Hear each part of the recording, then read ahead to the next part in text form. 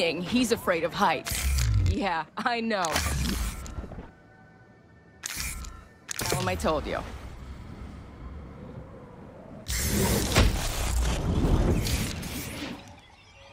Angel's Flight. If you have a dream, don't sit on it.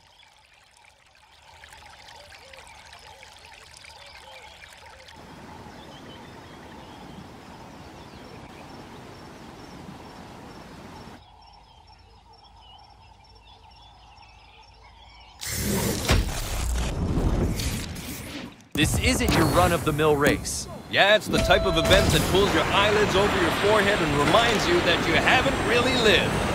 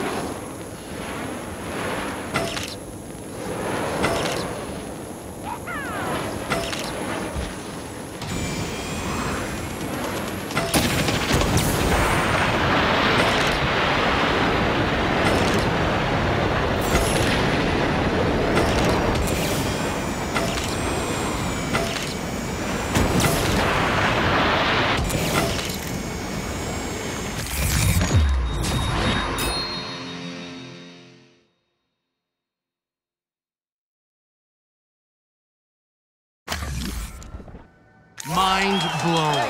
You clearly have no self-imposed limits.